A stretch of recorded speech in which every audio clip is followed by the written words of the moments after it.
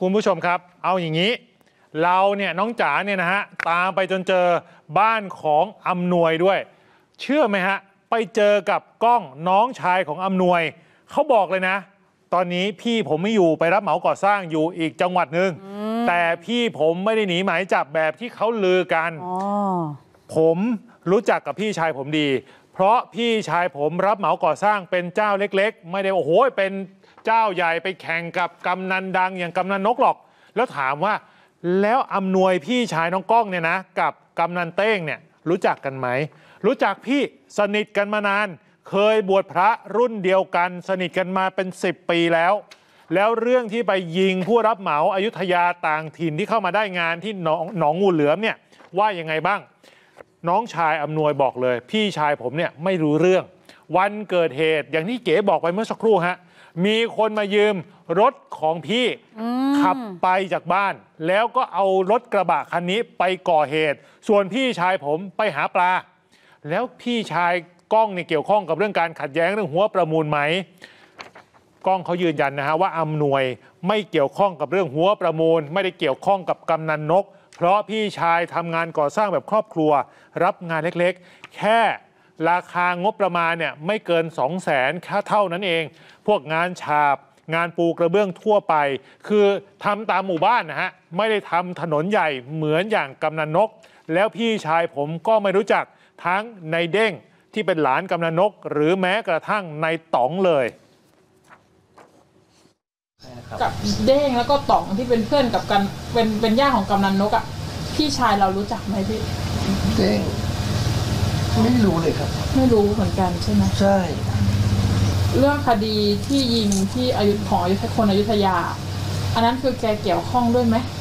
ก็มันอันเนี้ยครับที่แกเข้ามามอบตัวแล้วครับค่ะรายละแกเอียดไม่ได้เป็นคนทำเหรอจ๊ะใช่ครับ อ๋อแล้วแล้วก่อนหน้านี้ที่บอกว่ามีมีออกหมายจับมีอะไรกันแกก็มีไปครับ ตอนนี้เข้าสู่กระบวนการแล้วครับ คือแกก็ไปมอบตัวไปครัอะบไรตอนนี้ประกันอยู่ที่ชั้นศาลอยู่ครับอ๋อประกันตัวออกมา ครับมันในประกันตัวอยู่ แต่กำนันนกเราก็ไม่รู้จักนะไม่รู้จักอยู่แล้วครับผมอยู่คนละฝั่งกับเราครับอายุบังอืมแล้วมันคนละมันคนละชั้นกับเราครับจริงๆแล้ว หมายถึงว่าเขามีเงินมีอะไรอย่างนี้เหรอพี่ ใช่ครับ อะน้องแพรพัฒน์ตามไปต่อไปหาญาติกำนันเต้ง คืออยากรู้คือตอนนี้ข้อมูลมันสับสนว่า ตกลงแล้วเนี่ยถ้าเราอยากจะ พลิกคดีเก่าคดีนี้ขึ้นมา แล้วไปเชื่อมโยงว่า เฮ้ย มันเกิดกระบวนการผู้มีอิทธิพล โดยเฉพาะการรับเหมาก่อสร้างทั้งเรื่องหัว ทั้งเรื่อง เอาพูดกันตรงๆ ยิงถล่มผู้รับเหมาที่เป็นคู่แข่งเนี่ยแปลว่านครปฐมน่ากลัวครับปรากฏว่าเราเองเนี่ยก็เลยส่งนะคะ น้องของเราไปถามญาติของกำนันเต้งอีกหนึ่งคน ไปถามญาติกำนันเต้งค่ะ ว่าตกลงกำนันเต้งอะอยู่เมืองไทยไหม ปรากฏว่าพอนักข่าวเราเดินทางไปถึงบ้านกำนันเต้ง ซึ่งญาติกำนันเต้งเนี่ยออกมาเหมือนไม่ค่อยพอใจทีมข่าวสักเท่าไหร่ บอกว่าไม่ต้องมาเอาข่าวที่นี่ไปหาข่าวที่อื่น นักข่าวก็เลยพยายามจะพูดคุยอะนะคะ ด้วยแบบความเคารพแหละก็บอกว่ากำนันเต้งอยู่ไหนคะพี่เขาบอกว่าเอ้ยเปิดร้านขายข้าวอยู่ที่กัมพูชา ไม่มาเนี่ยสองปีแล้ว แล้วพอถามว่าเออพี่แล้วพี่เต้งกลับมาบ้างไหมตัวของยาก็บอกไม่ได้กลับมา ไม่ได้กลับมา ล่าสุดวันเกิดเหตุ มีคนบอกว่าพี่เต้งกลับมาไม่ใช่หรอคะพี่ เห็นบอกว่ามีไปงานช่วงของวันเกิดหรือว่างานเลี้ยงกำนันนกก่อนหน้านี้ด้วย พูดไปเรื่อยอืมเต้งไม่ได้มาสองปีแล้ว คนพวกนี้มันก็พูดไปเรื่อยแหละ แล้ววันนั้นวันเห็นบอกว่าวันที่เกิดเหตุแกก็กลับมางานศพด้วยคนก็พูดไปค่ะปากต่อปากคุณอ๋อแกไม่ได้กลับมางานศพเหรอจ๊ะไม่มีใครก็ไม่มีมาหรอกไม่ฉันไม่เคยเห็นเลย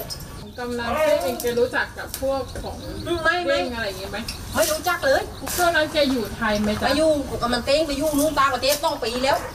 เขาไปอยู่สองปีแล้วจ้ะแกกลับมาบ้านบ่อยไหมจ๊ะไม่บ่อยหรอกนานๆมาทีนึงอืม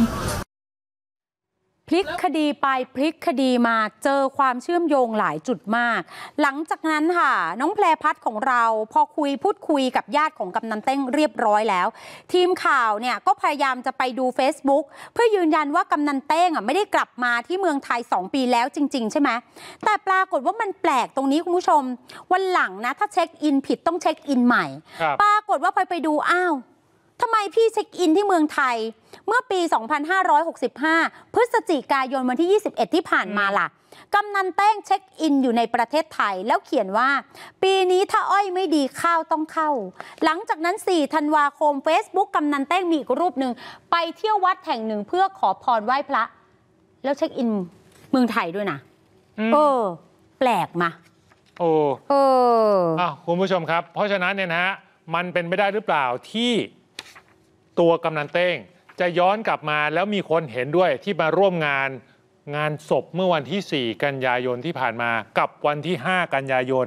งานศพของชาวบ้านในพื้นที่ใกล้ๆ กับวัดทุ่งรีเนี่ยนะฮะอืมแต่วันที่ 6 ซึ่งเป็นวันเผาหายไปเลยอืมแล้ววันที่ 6 ตกค่ำก็เป็นคืนปาร์ตี้สังหารที่บ้านของกำนันนกอืมก็เลยสงสัยว่าสรุปแล้ว ตัวของนายเต้งเกี่ยวข้องกับเรื่องนี้มากน้อยแค่ไหนนะฮะ ที่สำคัญคุณผู้ชมเห็น 15 ธันวาคมไหม15 ธันวาคมตอนนั้น 2560เอ่อ65มีการออกหมายจับนายอำนวย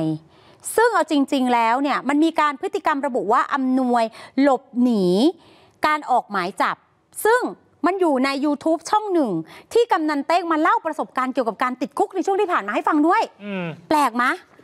แปลกนะ เอาจริง ๆ พี่อยู่ไหนคือจริงๆพี่เป็นคีย์แมนสำคัญนี่นี่นี่เล่ากันใหญ่เลยครับ แล้ว 30 มีนาคม 2566 ที่ผ่านมา ก็มีรูปกำนันเต้งนั่งนับเงินกับชาวบ้านในงานประจำปีของวัดทุ่งรี 12 พฤษภาคม